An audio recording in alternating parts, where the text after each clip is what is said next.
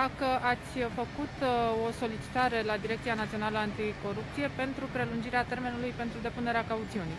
S-a făcut această solicitare, în principal în ceea ce îl privește pe domnul Tudorache Daniel.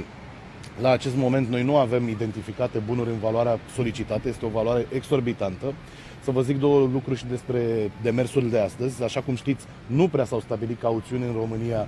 Uh, din ce mi-amintesc eu de la un alt dosar unde s-a stabilit o cauțiune spectaculos de mare, uh, asemenea cauțiuni n-au mai fost stabilite, motiv pentru care am înțeles să facem o plângere prin care să obligăm practic DNA-ul să recunoască că la acest moment domnul Tudorache și doamna Tudorache nu sunt uh, sub puterea unei măsuri uh, de control judiciar, deci controlul judiciar nu este intrat în vigoare, pentru că dumnealui i s-a pus în vedere să nu părăsească țara, mă rog, toate celelalte obligații.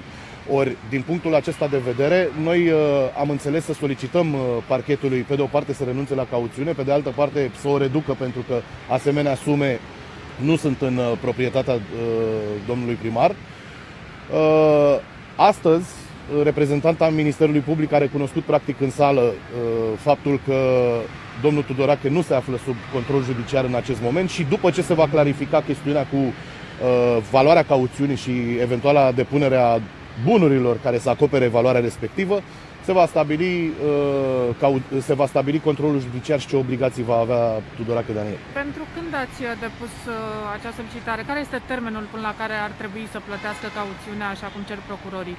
Noi am stabilit, noi am solicitat, de fapt, uh, un termen de o săptămână am spus începând că acest... de când? Începând de astăzi, când uh, expira termenul, facem efortul să depunem astăzi uh, documente aferente unor bunuri în valoarea respectivă, însă suntem în discuții dacă putem să le obținem sau nu până astăzi. Trebuie și evaluate dacă este vorba de bunuri imobile, așa cum uh, sperăm noi să obținem. Am cerut un termen acoperitor, nu că îl vom duce la maxim pentru că suntem de bună credință și vom încerca să ne conformăm cât mai urgent, dar, în mod clar, în momentul în care se va institui acest control judiciar sub cauțiune, vă informez public că îl vom contesta.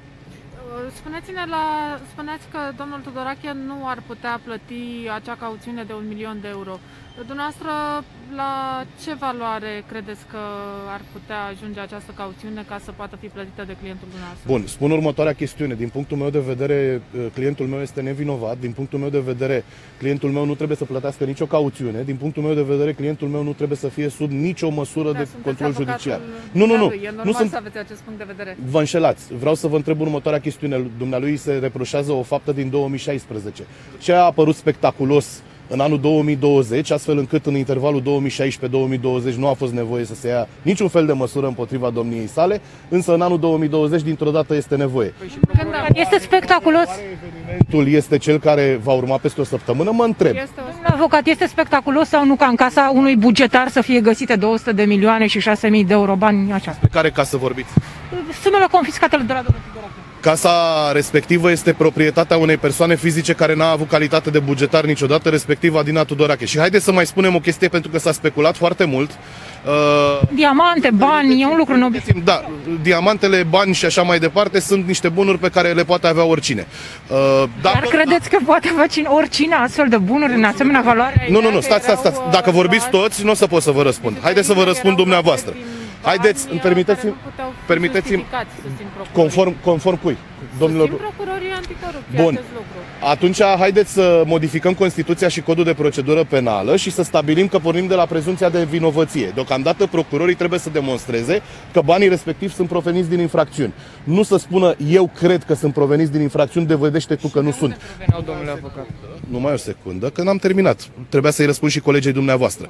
Deci, revenind, uh, Trebuie să rețineți faptul că Tudorache Daniel este despărțit și divorțat de uh, doamna despre care se face referire din anul 1993, adică în urmă cu 27 de ani. Divorțat și de menajera pe numele căruia se desco- s-au deschis Menajera despre care se face referire nu este menajeră, este mătușa doamnei Tudorache. Am înțeles, am înțeles. Asta prima chestiune. A doua chestiune, uh, între timp, domnul Tudorache a mai fost căsătorit de două ori. Nu știu dacă aveți cunoștință de acest aspect că domnii procurori comunică numai ce doresc dumnealor. Înțelegeți? Deci până una alta, până una alta la câte achitări au luat pe uh, dosare din acestea uh, constituite pe ridicări la ora uh, 5 după amiaza în ziua de vineri, eu cred că ar trebui să dăm mai multă eficiență prezumției de nevinovăție. Domnule avocat, pe ce probe se bazează procurorii? Vă rog? Pe ce probe se bazează procurorii? Ce probe uh, ați văzut în dosar? Asta spun și eu. Pe ce probe se bazează procurorii? Pe nicio probă. Pe niște bunuri și documente descoperite în, uh, cu ocazia percheziției. Și cam atât. Domnule primar, Nu, acele... a, a, v-am spus că domnul primar nu dă nicio de... V-am spus că domnul primar, v-am spus că domnul primar nu dă nicio declarație. De a avea un O punct zi de bună. Ați fost totuși persoană publică și o imagine